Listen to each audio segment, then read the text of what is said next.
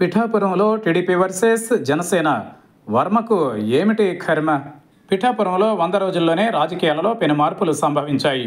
Janasena TDP cadre మధ్య నువ్వా నేనా అన్నట్లుంది వ్యవహారం. ఒక రకంగా టీడీపీని జనసేన స్థానిక నేతలు దూరం పెడుతుంటే ఇటు టీడీపీ నేతలు కూడా జనసేన లోకల్ లీడర్స్ను ఇప్పటికే బాయ్కాట్ చేశారు. అధికారంలోకి కూటమి వచ్చి వంద రోజులు కాకముందే పిఠాపురంలో టీడీపీ జనసేన ఫైట్ పీక్స్కు చేరింది. అధినాయకత్వం మాత్రం బాగానే ఉన్నప్పటికీ నియోజకవర్గంలో మాత్రం నేతలు రెండుగా చీలిపోయారు. మాజీ ఎమ్మెల్యే వర్మను జన సైనికులు దూరం పెడుతూ ఉండగా ఇందుకు టీడీపీ శ్రేణులు భగ్గుమంటున్నాయి. రాష్ట్ర స్థాయిలో ముఖ్యమంత్రి చంద్రబాబు జనసేన అధినేత పవన్ కళ్యాణ్ జోడీ సజావుగానే ఉంది. ఇద్దరూ సమన్వయంతో పనిచేసుకుంటూ వెళుతున్నారు. చంద్రబాబు నాయుడు ముఖ్యమంత్రి అయినా పవన్ కళ్యాణ్కు పూర్తి స్థాయిలో బాధ్యతలను అప్పగిస్తున్నారు. ఆయనను దూరం చేసుకునే ఏ చిన్న పనిని కూడా చంద్రబాబు చేయడం లేదు. అన్నింటా పవన్ కళ్యాణ్కు చంద్రబాబు ప్రాధాన్యత ఇస్తున్నారు. పవన్ కళ్యాణ్ కూడా అదే స్థాయిలో చంద్రబాబుకు గౌరవం ఇస్తున్నారు. ఆయన మీద వైసీపీ విమర్శలు చేసినా జనసేనాని ఊరుకోవడం లేదు. ఇద్దరు అగ్రనేతలు ఆ స్థాయిలో ఉంటే పిఠాపురంలో మాత్రం పరిస్థితి తేడాగా ఉంది.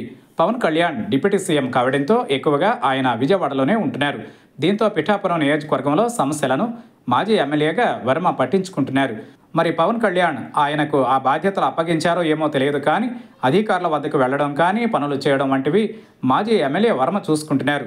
గతంలో తాను ఎమ్మెల్యే కావడంతో తనకు పరిచయం ఉన్న అధికారులతో పనులు చేస్తున్నారు. అయితే దీనిని జన సైనికులు అడ్డుపడుతున్నారు. ఎమ్మెల్యే తమ పార్టీకి చెందిన వారిని టీడీపీ నేతల మాటలు ఎలా వింటారంటూ అధికారులపై ఒత్తిడి తెస్తున్నారు. దీంతో అధికారులు కూడా నిస్సహాయ స్థితిలో ఉన్నారు. మరోవైపు జనసేన పిఠాపురంలో నిర్వహించే కార్యక్రమాలకు చివరకు ప్రభుత్వ కార్యక్రమాలకు కూడా వర్మను పిలవకపోవడంతో ఆయన అనుచరుల్లో ఆగ్రహం వ్యక్తమవుతోంది. పొత్తులో భాగంగా తన సీటును త్యాగం చేసిన వర్మకు ఇలాంటి గౌరవం ఇస్తారా అంటూ నేరుగా మండిపడుతున్నారు. వర్మ కూడా జనసేన నేతలపై అసహనం వ్యక్తం చేస్తున్నట్లు తెలిసింది. అసలు ఎన్నికల సమయం నుంచే కొంత గ్యాప్ ఉంది. అది అధికారంలోకి రాగానే మరింత పెరిగింది. ఇప్పుడు ఇంకా రెండు పార్టీల కేడర్ దూరమైనట్లే కనిపిస్తున్నాయి. పిఠాపురం విషయంలో చంద్రబాబు పవన్ కళ్యాణ్ జోక్యం చేసుకుంటే తప్ప ఈ సమస్యకు చెక్ పడే అవకాశం లేదు.